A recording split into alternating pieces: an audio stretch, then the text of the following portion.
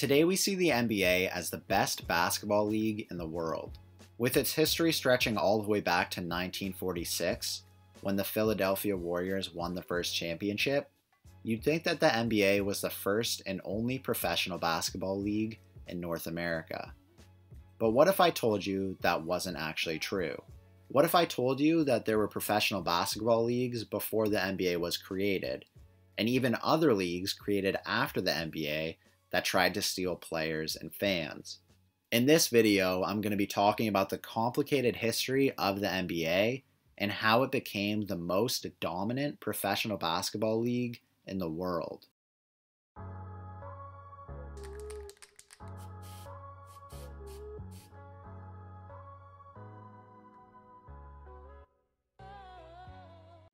You may know that the game of basketball was created in the year 1891 by James Naismith, who created basketball to be played by at risk youth at the YMCA he worked at.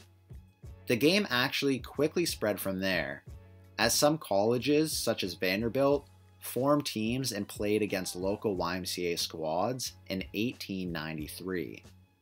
The first game played between two colleges was said to be played in 1895 between Hamline University and the Minnesota State School of Agriculture, although there are some other schools that claim they were the first to do it.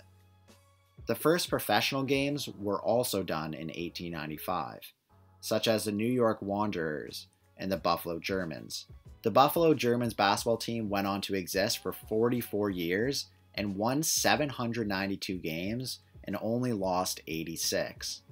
Imagine playing basketball with a couple of your friends in high school and deciding to make a professional team that went on to be one of the best basketball dynasties ever. Their all time record is like going 74 and 8 in the NBA for 10 years in a row. This is the competition that the Golden State Warriors needed during their 73 and 9 year. But back onto the history of basketball.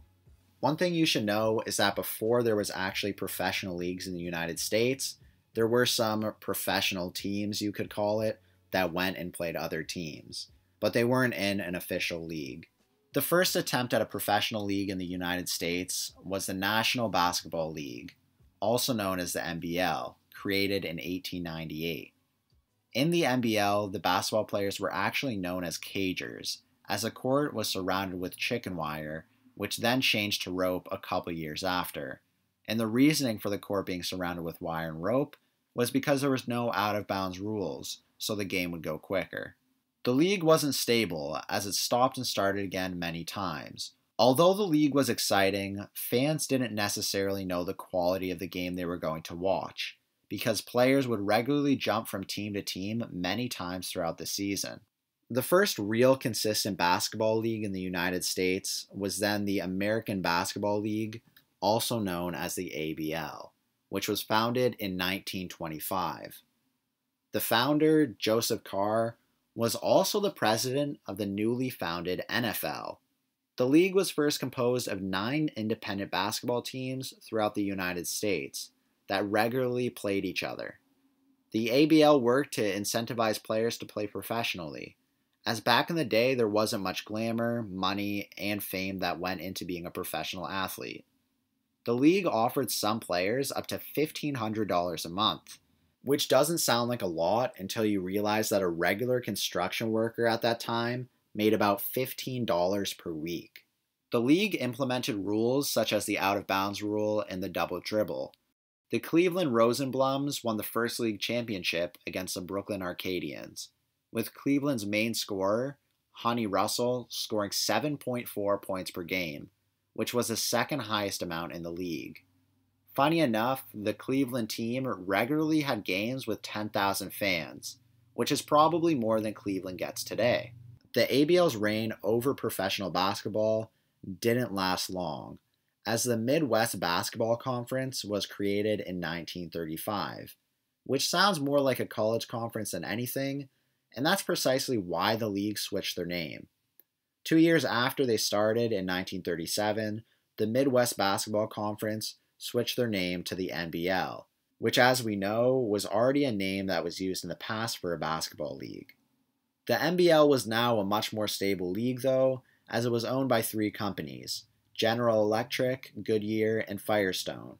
The league was pretty informal, as teams could schedule their own games and decide whether they wanted to play 4 to 10 minute quarters or 3 to 5 minute periods.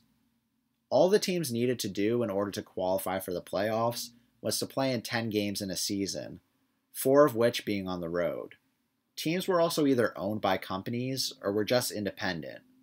Company owned teams usually succeeded because, aside from players getting paid for basketball, the companies would offer player jobs with their actual companies as an incentive to play for them. As time went on, there was talk of a new professional basketball league and sadly, for both the ABL and the NBL, they would have a lot more competition, which would soon lead to their demise. The Basketball Association of America, also known as the BAA, was created in 1946.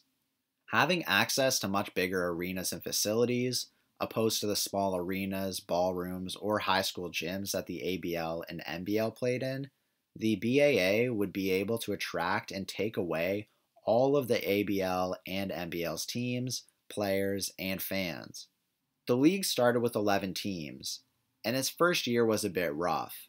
With many teams playing on ice hockey arenas, the arena owners would simply put the wooden floor over the ice, which made big puddles throughout the court. And since the arena was cold, fans would have to come with blankets, and some players even played wearing gloves. After its first year, four teams quit the league, which left the league with only seven teams. Gladly for the BAA, a team from the ABL, the Baltimore Bullets, joined in 1947. And in 1948, four teams from the NBL actually joined their league, which brought the league to have 12 teams, which was more than they started with, so that was a good sign. The four teams that joined the BAA from the NBL caused a surge in talent, and this can mostly be seen by OG Lakers basketball legend George Mikan now being in the BAA. In 1949, the BAA actually merged together with the six remaining NBL teams to create the National Basketball Association as we know it today. Even though the NBA was basically a new league, they recognized the short three year history of the BAA as their own but they don't recognize the NBL. And this is a confusing part for people because the NBA officially became a league in 1949.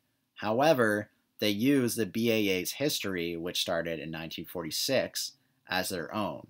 This is also where some controversy arises when tallying up championships, as some teams don't believe that the first Warriors and Lakers championships should actually count, since they were part of the BAA and not the NBA. It's quite interesting, and I don't think most people know that when you look at NBA history and records back between 1946 and 1949, that wasn't actually the NBA.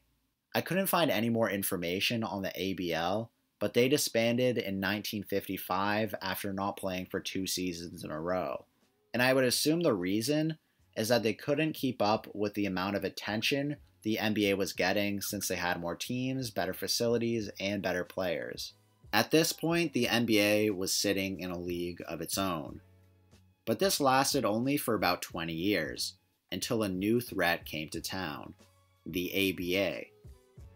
Like, comment, subscribe, and thanks for watching.